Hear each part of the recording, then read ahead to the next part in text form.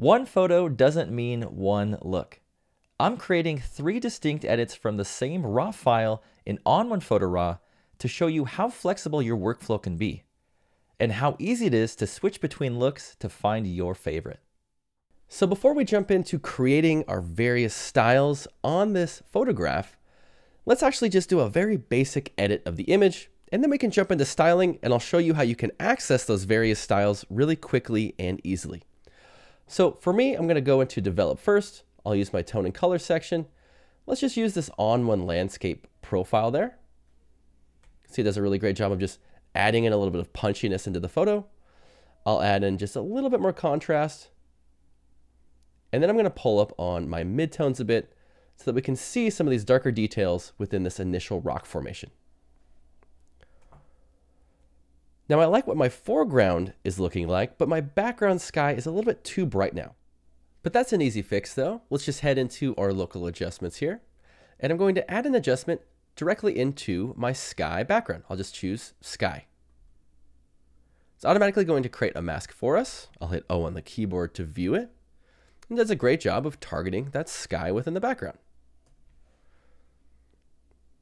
Now for me, I typically go down to my tone section when I'm dealing with skies and I'll modify the exposure. You can even bring it back quite a bit actually. I'll add in a little contrast. And then what I like to do is I'll bring back whites. So I'll just bring back some whites until it appears natural. And then I'll turn this off and on here. And there we go. We got a nice detailed sky that looks like it was the one we wanted when we captured the photo. Now there's this section over here where it's not quite masking in that little separation between those two rock formations. So what I typically do is I'll just grab my masking brush by hitting B on my keyboard, and I'm going to go up to this option here, this perfect brush option. I can enable that, and that's going to target specific tones so that I don't paint outside the lines, if you will. So I can just target this specific area where it's not actually creating that mask for me. Now I'm going to use paint here so that I can paint this adjustment into this area. And I'll just paint this in a little bit there. Paint it in on the bottom. Make sure we got all these areas covered. Zoom out. And there we go. It's doing a great job of modifying that sky for me. So let's just check out the original and then after.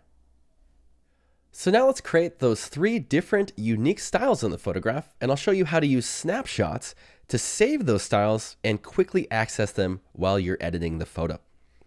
So let's go into effects, and let's first just create a nice black and white style for the photo. I'm gonna add a filter.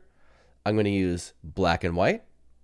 I'll go into my styles section. I'll use this more menu, and I like to just browse through these to see what works for my photo. I actually really like this chrome option. Let's add on one last filter. Let's use a border. I love borders with black and whites.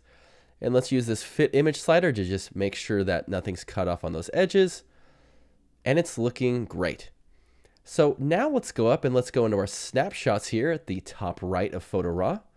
And I'm going to add in a new snapshot and I'll name this black and white border. Let's now create another look. I'll just reset my effects tab. And let's just use a nice cinematic color grade. I'll go into the more style section. And I really like these sort of warm feels on these desert type images. Let's use this one. And I'll just name this warm color grade.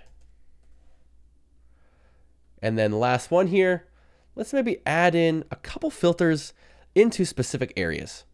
So first things first, let's add in a nice glow into our sky.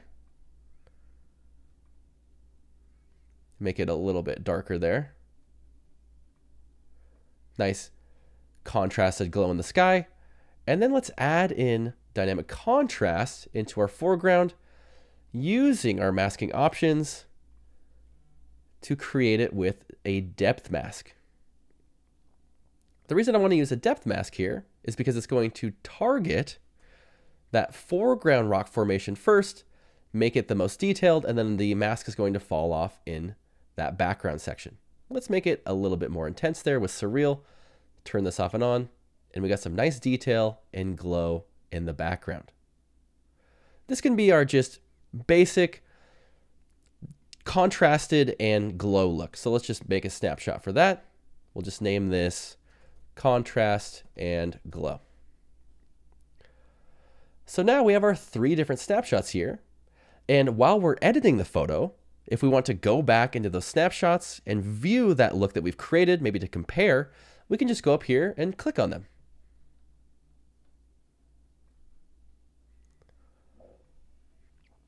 It's an incredibly fast and easy way to create various styles on your image and toggle between them to see which one you like the best. My favorite probably has to be this black and white border. I think it looks really, really nice here, especially with these textures and details within the rock formations and even in the sky. So I'm going to choose that there. One last benefit from using these snapshots is that if I go out of the image, if I go back into browse and I'm editing other photographs or I'm dealing with other images, projects, you name it, once I go back into that edit, it will actually save those snapshots there for me so I can readjust the style or the look if I need to. So that's how to create three different looks on a single photograph and use snapshots to quickly toggle through those different looks and see which one's your favorite. If you enjoyed the video, subscribe to our channel for more tips and tricks using ON1 and ON1 Photo Raw.